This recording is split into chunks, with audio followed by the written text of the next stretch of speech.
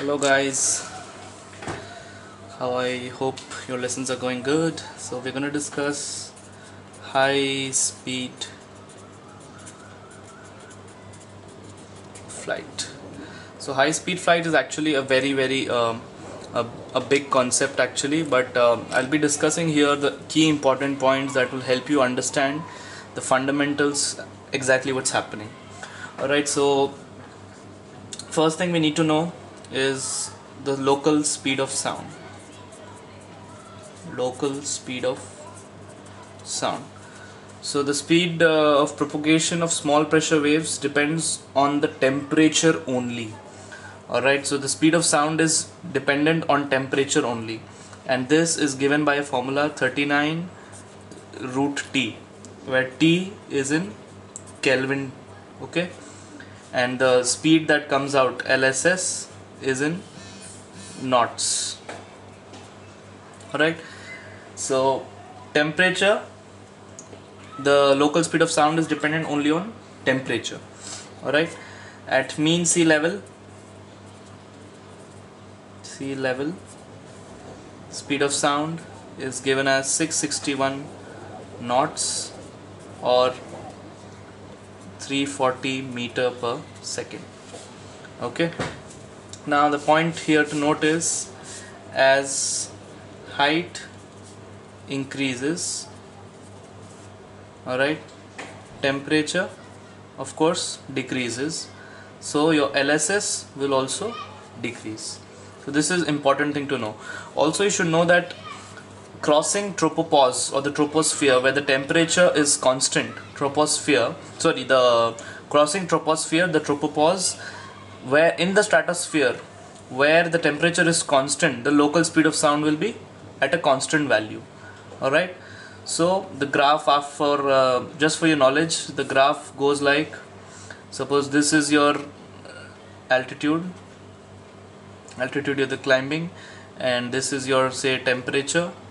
So the temperature will obviously decrease and your local speed of sound. So let us take local let let this be local speed of sound and this be temperature. So as your temperature is decreasing the local speed of sound will also decrease. And when you reach the stratosphere here it will become constant. Alright?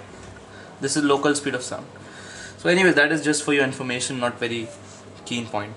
Now there's something called Mach number which is a function and it's a ratio of local speed of sound by TAS true air speed of the aircraft.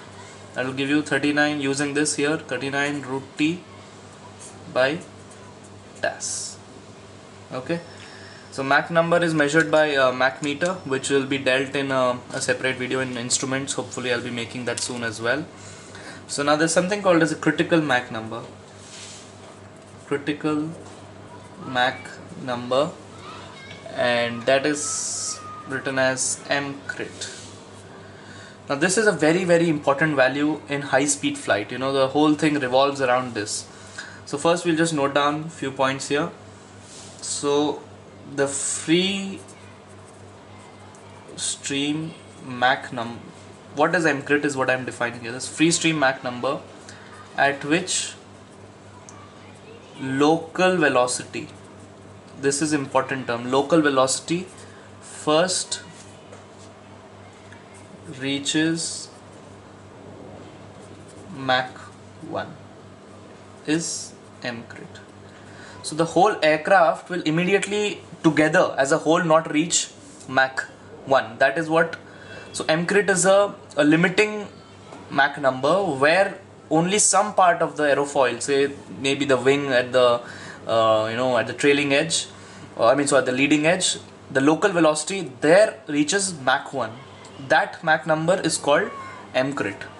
And that local Mach number is always greater than your free stream Mach number. Okay? Now just a property m crit will decrease with increase in t by C ratio and angle of attack. So mcrit so the Mach number value will decrease. So T by C is basically thickness by the chord right? So this if you increase that your m crit will decrease.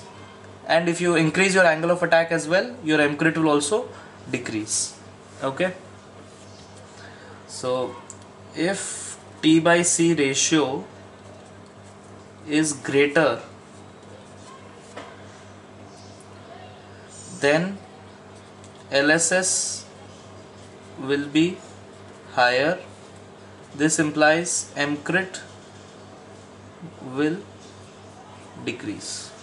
Alright this is just a point exam point of view. It might just help you. So if T by C ratio is greater then LSS will be increased.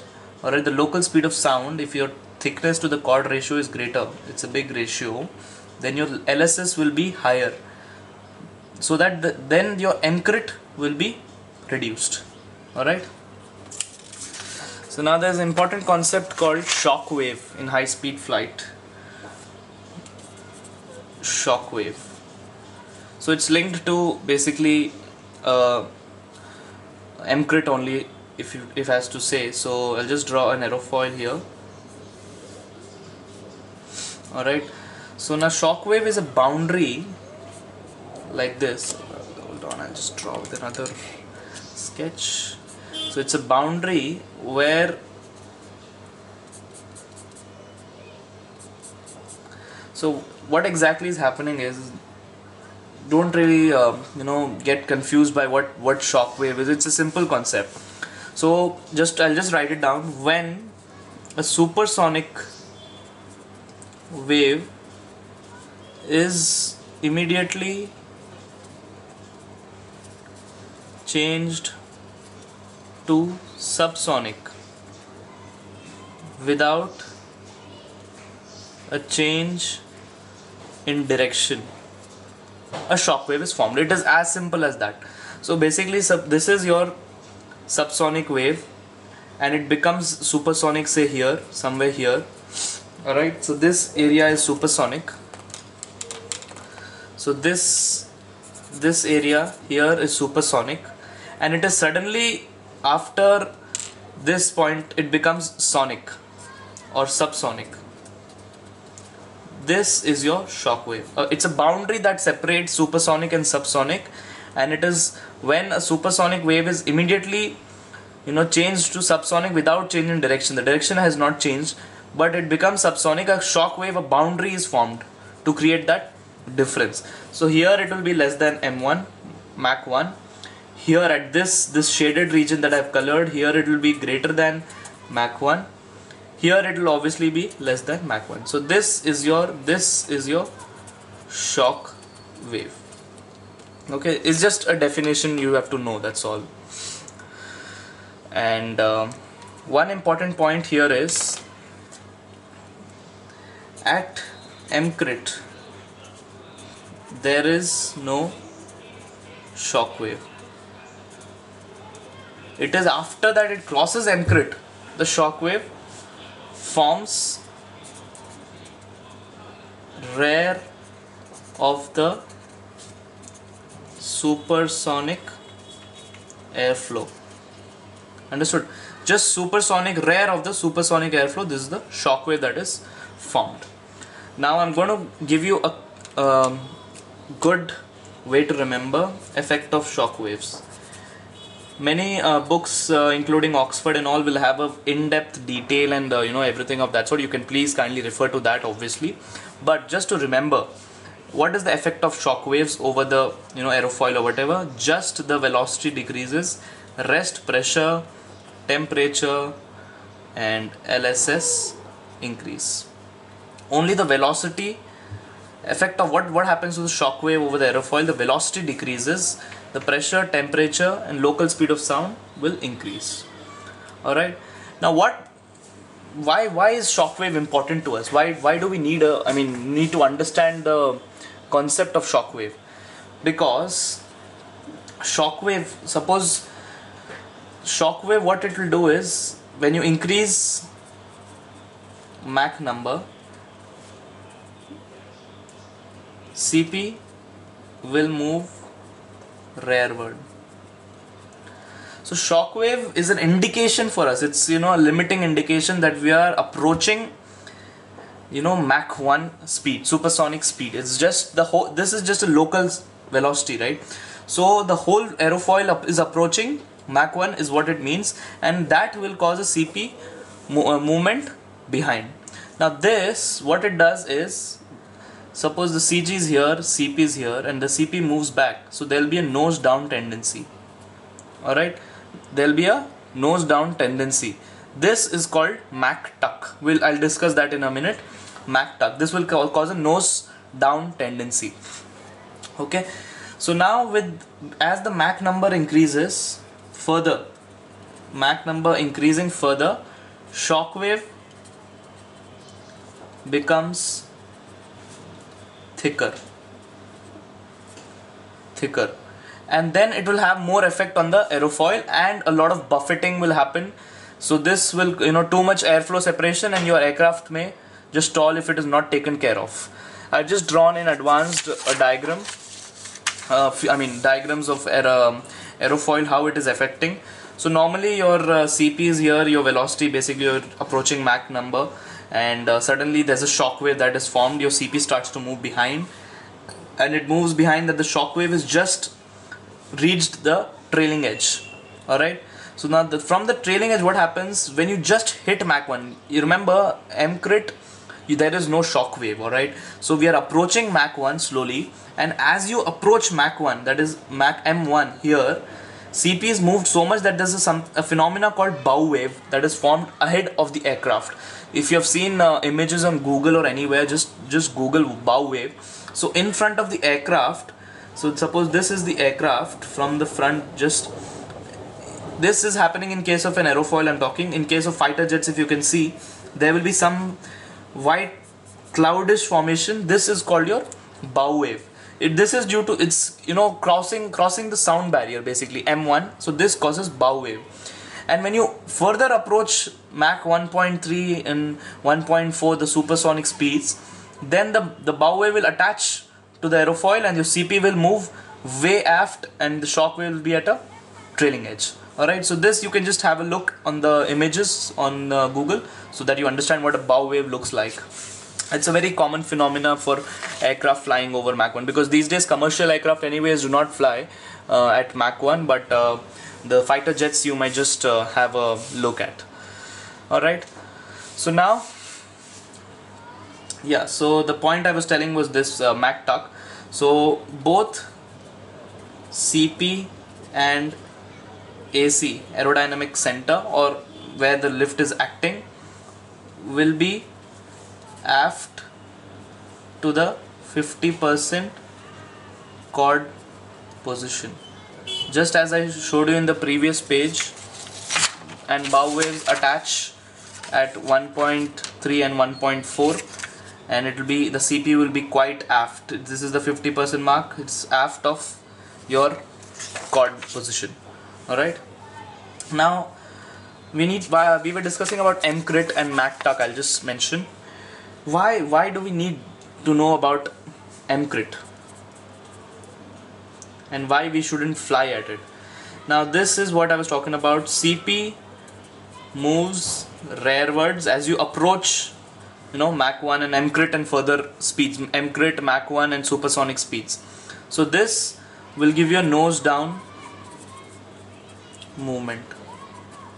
Since your CP is moving behind this is this is CG or AC whatever CP so if this is moving behind the arm is increased and this will cause a nose down movement. If this is an aerofoil okay so this will cause a nose down movement. And this is called Mach tuck.